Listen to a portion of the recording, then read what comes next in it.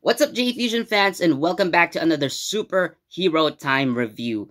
And today's Superhero Time has a lot of debuts going on.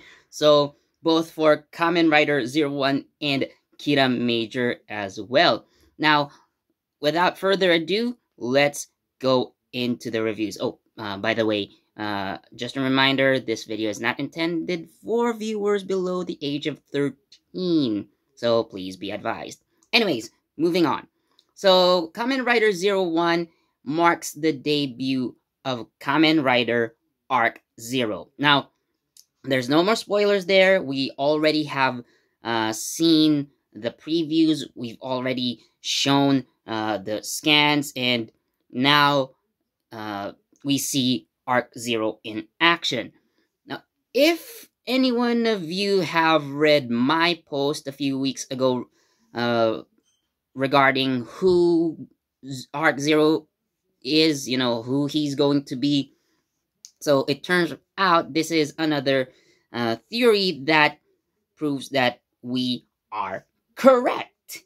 So, of course, uh, it has been revealed before uh, about a couple of weeks back. So, yes, we have confirmed that Horobi is indeed Ark Zero, but there is also kind of a twist to that, and you will see it once you have seen episode, uh, the latest episode of Kamen Rider Zero One. So, uh, again, yes, uh, Horobi is the one chosen to transform into Ark Zero, but there is a reason why uh, Ark Zero was actually brought into being and again, it's something that you will find out once you've seen the episode. So I won't spoil that part. Don't worry.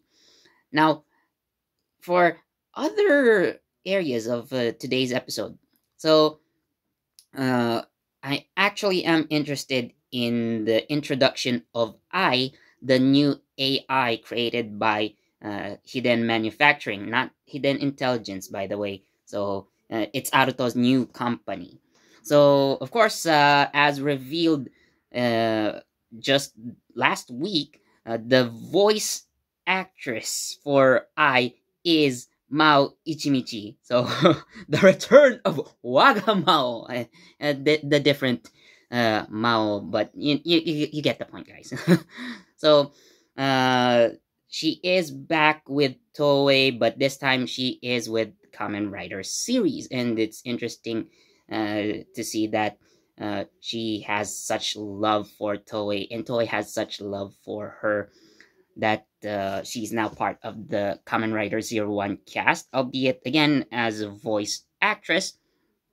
But with Ai's debut, it's interesting. It's interesting to see that it's not actually Aruto who is focused on that side of the story, but it's actually Isamu.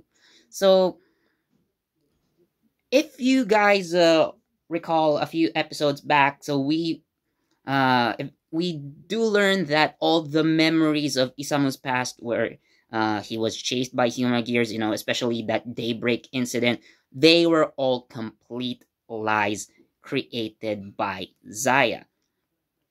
And you know, after that, Fuwa realized, hmm, what about my family? What happened to them? This is the episode where we actually uh, hear about uh, Fuwa's family. So, uh, are they okay? What are they doing right now? Uh, who knows? So, uh, if you want to find out about the Fuwa's family, uh, Isamu's family, watch this episode. And I, I really do have a lot of things to say about the what's happening, but uh, I might say some spoilers, but again, it's interesting uh, to look at Ark Zero's debut. So that is the key point of today's episode. And for that, Kamen Rider Zero One gets a 4.5 out of 5. It's a near perfect episode. So uh, it's really uh, putting up with the pace of the show. Uh, hopefully, we do see Kamen Rider Zero Two very soon. So watch out for that as well. Now, moving on to Kiramager. Of course, uh, today is the debut of Kiramei Silver. So, of course, uh, we are introduced to Takamichi Crystalia as well. And by that name alone, you know there is something up with that guy. And, uh, well, with that, there is something about this episode as well. So, uh, maybe it's making up for lost time, but today's episode is so fast paced. Like everything, well, almost everything about Takamichi, we see immediately. And we also get to see him transform and fight for the first time. Uh, his uh, mecha will debut, by the way, uh, next week. So it's something to look forward to. But yeah, uh, we do see uh, his uh, fighting style. Uh, he is a power type, so he uses a lot of strength in battle, and we actually find out why he's super strong. Uh, again, uh, there's something about him. I'm not going to spoil it, but uh, you guys watch the episode to find out. Now, while it is uh, Takamichi's debut episode, there is also a focus on Mio as well, or uh, sorry, I was talking about the actress, not the role. So Sayo, uh, Kiramei Pink, yes, she's also focused in this episode as well, and uh, you will see the development of their story in this episode too. So, uh, I don't want to say much about the Kiramager's plot for today because, again, uh, spoilers as well. Yeah, uh, because both Kamen Rider Zero One and Kiramager are so fast paced today.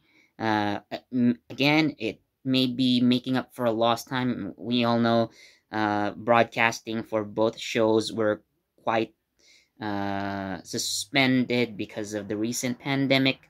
But now we see uh, them moving forward and breakneck speeds, guys. Breakneck speed with the plot. So today's Kiramager, I'm giving it a 4 out of 5. Again, it's a good, really action-packed episode, fast pace, but it may be too fast for me. I don't know. Uh, but again, uh, I don't want to talk about more details because it'll spoil a lot. Uh, so, however, we will see in the next episode what's with Takamichi, and uh, yeah, we will learn everything about him. Now, I th- now this actually makes me want to make another video about Takamichi as well, but I guess I might have to do that next week. Uh, in order to talk about him a bit more, uh, it may contain some spoilers, so I'm thinking about that. But yeah, a video about Takamichi uh, should be possible uh, next week ish. Uh, hopefully. So, anyways, uh, thank you so much, guys, for watching. If you like this video, please do leave a like, and comment, subscribe, and don't forget that notification bell so you get the latest from JE Fusion. This has been Philip, and I'll see you next week on another Superhero Time review. Bye!